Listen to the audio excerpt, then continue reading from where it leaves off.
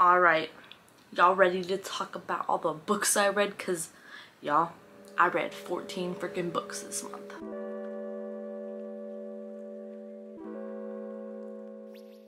Hey, hi. Hello, how are you doing today?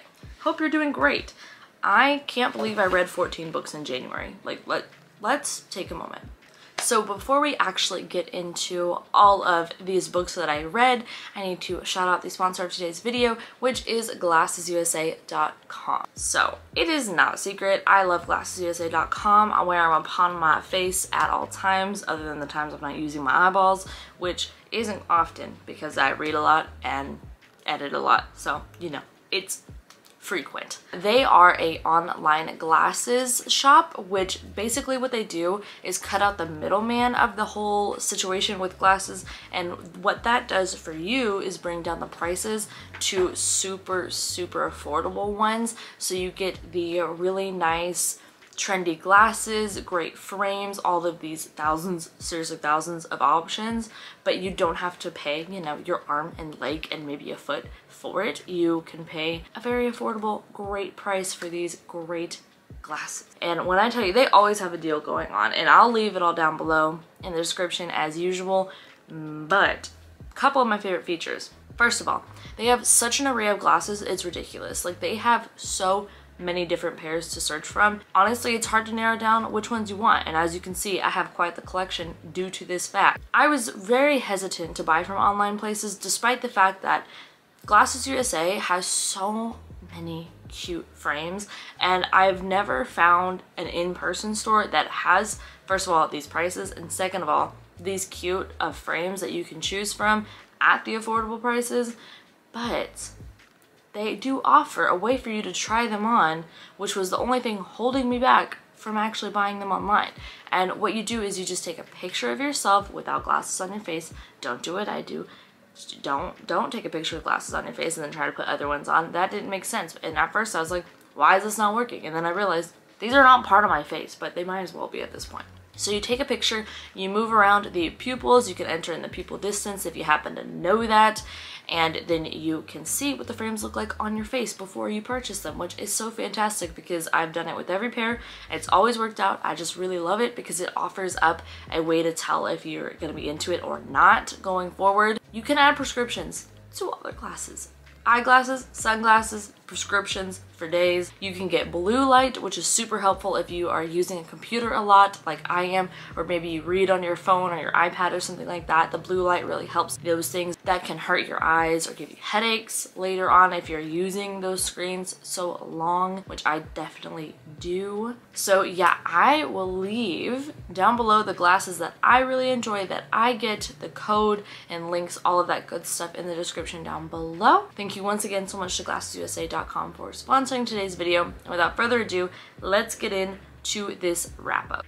So I told myself that I was gonna try to do wrap ups every month this year so that I would be able to like look back and be like, wow, look, I read so many books and kind of track the trend of how much I'm reading. Can you tell that I'm already like, I did not know January was gonna be up here. I thought it was gonna be like here and February would be up here, but no. No, like I read a lot in January and I think it's because I read some shorter books when Terween was there and then my coping mechanism is audiobooks. So very stressed with like work, moving, stuff like that. And uh, I just, I audiobooked out of this world. So the first one I read was the ninth book in the Miss Fortune series, which is Lator Gator. This is the Cozy Mystery series that I will never shut up about because I love it. There are 20 plus books in it, so we got a long way to go, girls strap in. Uh, but this follows Fortune, who is a secret agent for the government, and she's overseas doing a job, and she does, personally, the job probably a little too thoroughly, one might say. And now she has a bounty on her head. And so she has to go into hiding in this little small town in Louisiana called Sinful, which is where she meets Ida Belle and Gertie. And they're like this little trio of trouble. And it is just so fun. I love it so much. I think it's really funny. The only downfall of it, which I got used to after a while because I was like, I literally think this is just her. But it she has a lot of that not like other girls because she's very not a girly girl and she wants you to know that. But honestly, going into cozy mysteries, that's in a lot of that, and so I don't care. At this point, I'm like tuning it out because everything else, like I think it's so funny, it makes me laugh. I love the audiobooks. The audiobooks are so good that I don't care. I'm just like, whatever, that's fine. If that's gonna be the worst thing, we're good here. So this one I thought was really fun again, and I really did enjoy it. So the whole series I just really recommend. The next thing I listened to was Snowflakes by Ruth Ware. This is part of like some short story collection on Audible, and I really liked this. I did not think that I would like it as much as I did because I don't know, I was just like, oh, it's 26 pages, it's like a two hour audiobook. Well, not when I'm reading it, but it was like cut down to like a 45 minute audiobook. So I was listening to it while I was walking on the treadmill one day, finished it in one go, and it was actually pretty good. And I thought it was, it's sad because I definitely think that it's the reality for some people, but I was kind of just like, oh my god. It was the same way that I was watching QAnon documentaries on HBO where I was just like, is this like a joke? Like, are we joking right now? They weren't. They were very serious. So this one is following a family who basically when all the schools shut down and things got bad and the government, you know, was whatever, corrupt I guess was how it was described, they um, fled to this island where the dad is like teaching them how to survive on their own, live on their own. But some of the things that are being said and done don't quite add up. And it is a very quick reveal. Like I said, it's like 26 pages, not even 30 pages long. But I thought it was very clever and very well done and I was very interested and intrigued. And then when I realized what was happening, I was like, well, I almost feel like I need to reread it because now I know the end and now you could go back and pick up on all the clues. But I just thought it was quite thought-provoking, quite interesting. It's, um, you know, sad to say, living where I live, I have literally heard these things said out loud with full sincerity. So there's that. Next up, I read the worst book I've ever read, Hairpin Bridge. Uh, this solidified that I will not go back and reread No Exit because now I feel as though my, my heart has been tainted towards it. because I'm just like, how did this happen? How did the brain that brought us No Exit also bring Hairpin Bridge? How, how did this occur? And let me just say, the best part of this book, I think, reading it physically in the dark at night, the car chase scene was long, but I think it was written really well and I think it was broken up very well. I think that's the only thing the, good, the book had to offer that was done well. That is the only good thing about this book. Only good thing. And when I say good, I mean like acceptable it was acceptable. I was like, okay, maybe this is the redemption moment. Well, let me tell you, that's freaking not. Because then they get to the bridge and they just stay at the bridge. I didn't know hairpin bridge meant that we were literally just gonna be on a bridge for like, I don't even, honestly, time just stopped working here. I don't understand. I don't really understand what I read. I don't know if we were on the bridge for 40 minutes, if we were on the bridge for 40 hours. It could have been either one to be honest. Oh, and there's a freaking fire coming towards it too, which is described at different times as being super close and then not close at all and then like burning the bridge down. So I really don't understand um, any logic, but then also I'm trying to apply logic to a book that doesn't have it. But there's a gunfight scene that lasts for probably my lifetime and then some, and no one gets fatally shot. People are shot. People are shot multiple times. The people that should have been shot weren't, which unfortunately I think was the main character because she's annoying as hell. But this man, tell me how someone, how, hmm, how would you get shot six times and then still be awake and plotting how to get back at the person that shot you? What? So your face is gone. Let's talk about it. Like, let's talk about Let's not talk about it. Let's stop talking about it. This was bad. Don't read this. Read No Exit, watch the movie coming out this month, and stop there. Don't read this book. Don't, like, seriously, don't do it. It's not, it's not even entertaining in the way that Survive the Night was entertaining. This is bad.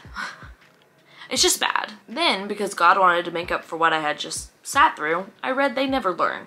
This was phenomenal. This was fantastic. We are following two points of view and this hair that's on my lip. We're following two points of view in this book and one of them is a professor at this college who is essentially a female Dexter, which isn't a spoiler. That is like from page one, we know that. I love it. I also love that it's kind of like Dexter where we have the thought process going on as the narration. It was just so well done. And then the second point of view is a girl who is brand new to the college. It's her first year, very excited for it. It's just about her meeting friends, all this stuff, but then, you know, things start to go wrong and not so good.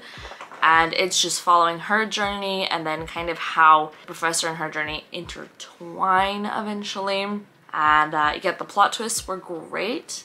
The narration was great. The audiobook was the way to go. If you want that plot twist to really just take you out, read the audiobook. It was so, so good. Then I read a short, I guess, horror novella, and it was We Need to Do Something. I read this because I watched part of Katie's vlog, and she was like flipping out about this book, and I was like, I haven't done that in a while, so let me let's talk about so basically what happens here is this family gets into the bathroom during a tornado and the tornado hits and then they go to leave the bathroom and they can't because a tree has fallen in front of it and they can't open the door. Which I'm gonna be really honest kind of silly kind of goofy. Not sure what the author was doing here because they could have just taken the lid of the toilet seat not the toilet seat, but the lid off the back of the toilet and smashed through the door because house doors aren't that strong.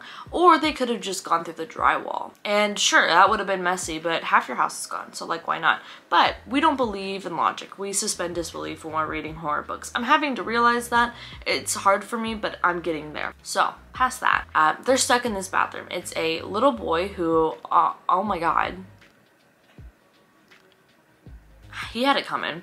Then we have the daughter, who is just this emo little mess. Then we have the mom, who is, I mean, ditto. Then we have the dad, who literally the words liberal kale salad or something along those lines came out of his mouth. And basically, I was ready for death at that point for him. So they're in there. They're losing their mind. I don't know how long this book took. I don't know how long it was the how many days it was spanned. Um, there was one scene where a hand is going like out the door, I'll just say that, and it freaked me out. It was written so well, it was so creepy. That was the best part of this book. After that scene, it kind of started to fall apart for me because I was just like, well, okay. So like everything's happening but nothing's happening kind of thing. And I like answers. And I will say the ending for this book is the perfect ending because I don't think you really could do a perfect ending for this. Like no matter what, it's gonna disappoint someone or not be the best ending. So leaving it open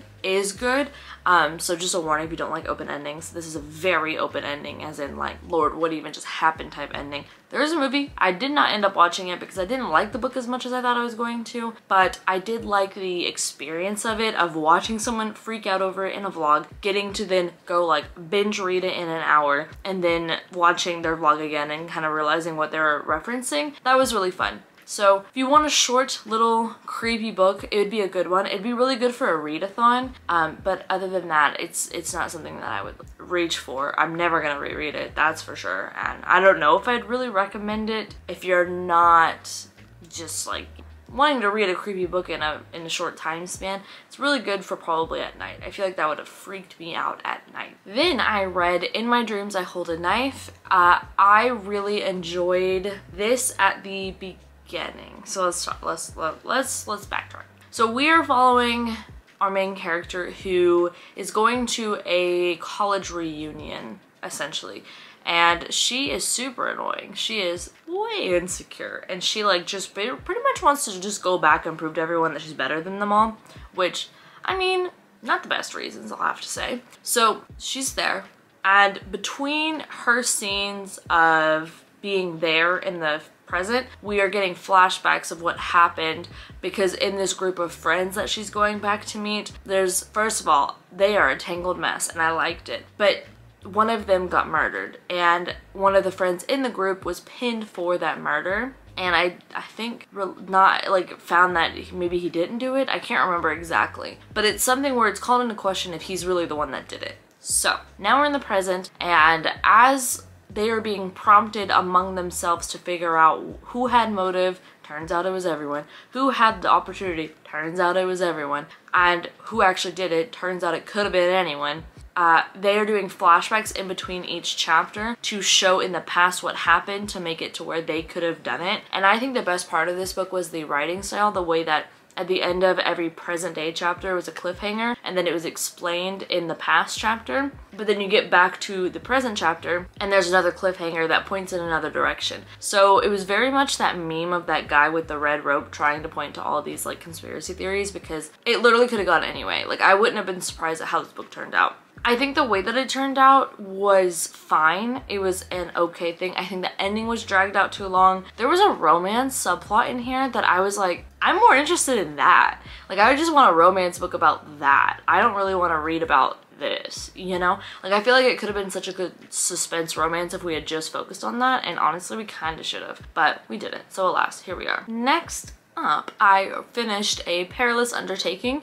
This is the second book in the Veronica Speedwell series, which is basically just this Victorian era mystery. It does give me cozy mystery vibes, but it is not technically classified as one because of some of the content that's discussed in it. But it's a mystery series that makes me feel very cozy, so I think that it's just... And this romance is so slow burn, like I'm screaming. Pretty much Katie and I have enacted a army of readers of this series and at all times we're just freaking out about it. And I love that. I think that that's brilliant. I think that honestly that's our calling. That's what we're meant to do. So read this book is all I'm saying. Next up, I read the scariest book of my freaking life, Stolen Tongues. This is a horror. This is perfect for wintertime, isolation kind of thing. Um, if anything, I don't know if paranormal is the right word, but it has the same feeling as paranormal horror. Uh, if that's something you like, this would be a book that you would like. The writing style was freaking me out so much because, oh god, it's just so fast paced but at the same time it feels like you can't even move like it feels like you're just like staring up at this like dark mass of an entity and it feels like it's attacking you it's so good and so scary it was so scary at night but what happens is this couple goes up to a cabin first of all the prologue was the scariest part of this book hands down. It was the scariest part of this book. It was written so well. I honestly want a copy of it just to have that, but I, I don't need it. But I loved the prologue. So just read that, if anything it could be its own scary short story. But then we have the whole book, which was great. And it did start out as a creepypasta, I was informed, and was pulled into a full-fledged novel. This couple goes up to a cabin as like a little retreat thing. And while they're there, they start to hear these voices that they can't see with any, like, there's no beings, but they hear voices, they hear all these noises, all these people trying to get into the cabin. There are certain unexplainable things going on. Girlfriend, fiance person starts like sleep talking, sleep walking, sleep laughing, which my partner sleep laughs and sleep talks, and it's unacceptable behavior to me, especially because it was happening a lot while I was reading this book.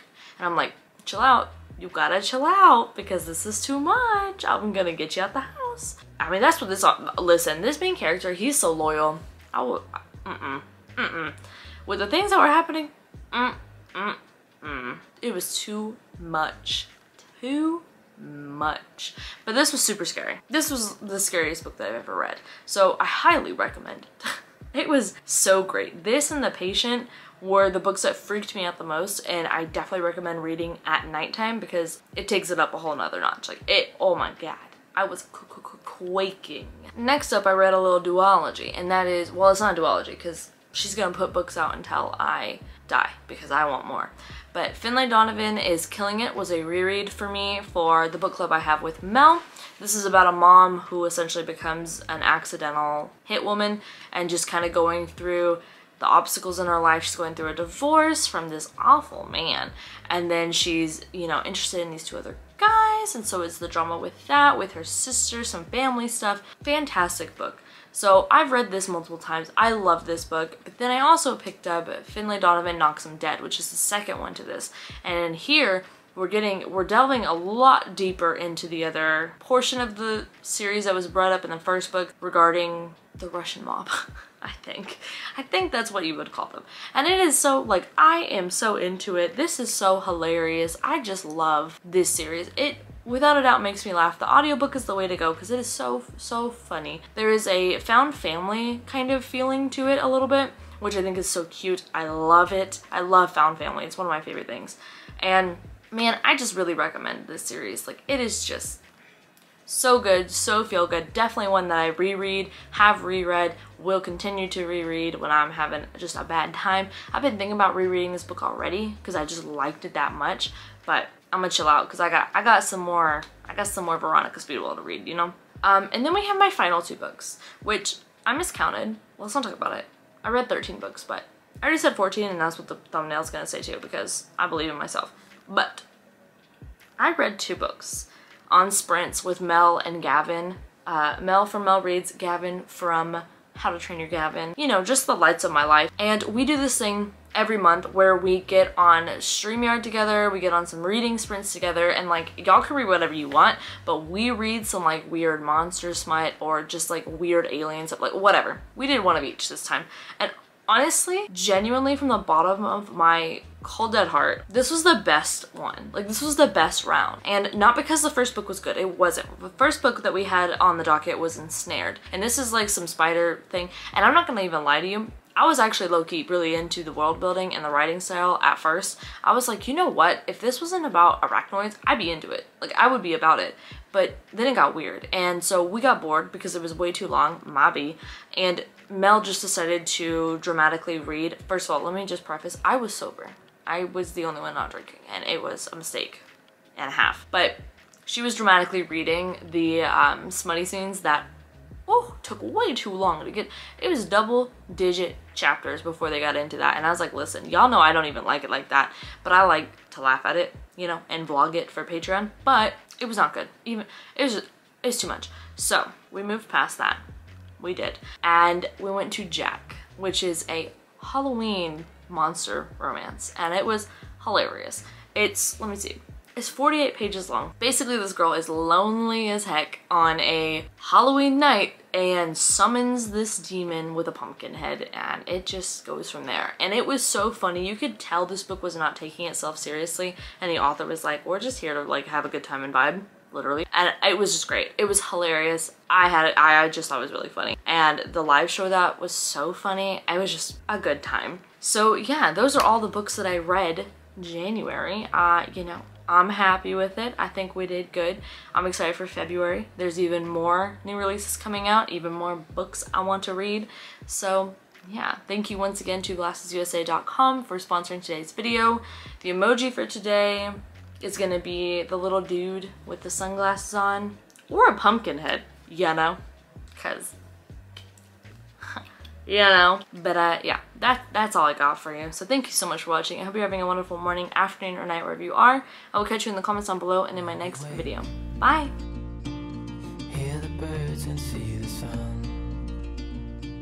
Side by side our fears are done. All the good times just begun.